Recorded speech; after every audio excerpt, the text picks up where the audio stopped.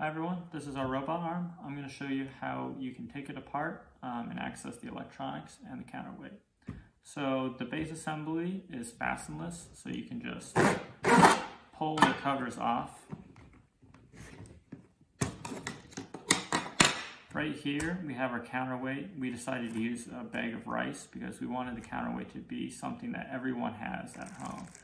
So you can just remove that, put that to the side.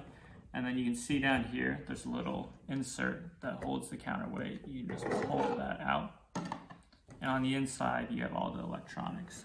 So right here, we have an Arduino Nano. Next to the breadboard, we have uh, a buck converter, which is a drop-down voltage regulator. We have a Bluetooth transceiver and then some resistors. Um, also, to drop, to pull this in and out, just pull it out um, you can see all the wires come through this hole and get routed cleanly into the electronics compartment. And the base motor gets slotted down into its little holder. And then to put it all back together, you just drop that down in. Put your bag of rice in the compartment.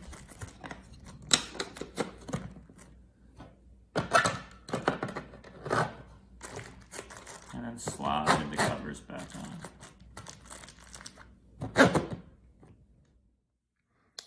Hi, this is our senior design project, the Industrial Robot Kit. Uh, the goal is to design a full 3D printed robot arm um, with adding electrical components that are easy, easily available online. It's controllable by a phone app.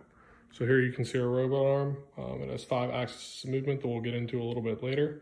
And this is our phone app, which we'll talk about now.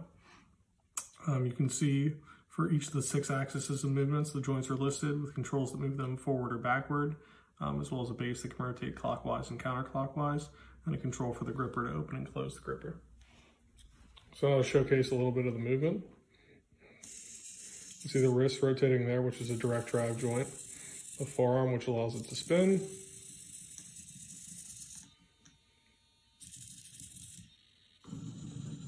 The base, which allows it to rotate again.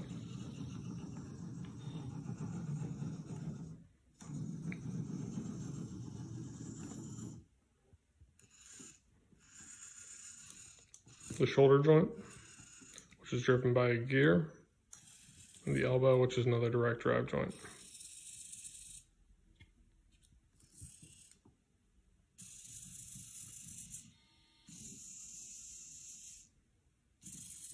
The full working envelope for this is almost 18 inches.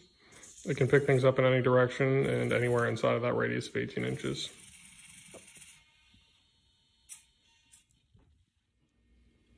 Go ahead.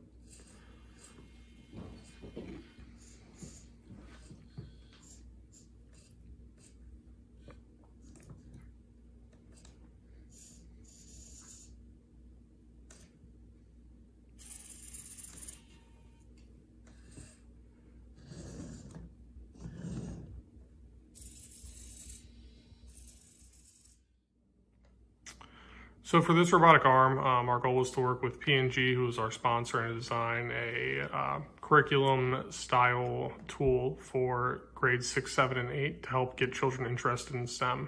So everything we did on this project is either made with a 3D printer in the classroom or from an electronics website or um, a couple of screws used as fasteners that are easily available on Amazon. So again, everything on here is made to be made in a classroom or ordered online ahead of time.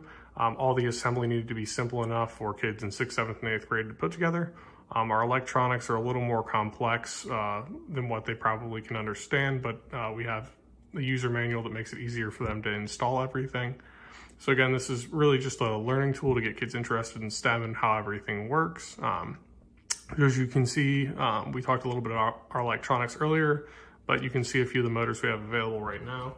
So in our gripper module, um, it's a geared system using a small servo motor which powers that arm, um, open and closing the gripper, allowing it to pick up a tennis ball, which is our goal object. Um, our wrist and elbow joints are the exact same, powered by two servo motors in a direct drive fashion. Um, that enables us to move those open and close about 270 degrees. Um, you can see our forearm motor just barely in there. It's the same motor as the gripper. It allows our arm to rotate, giving it another degree of freedom up in the wrist area.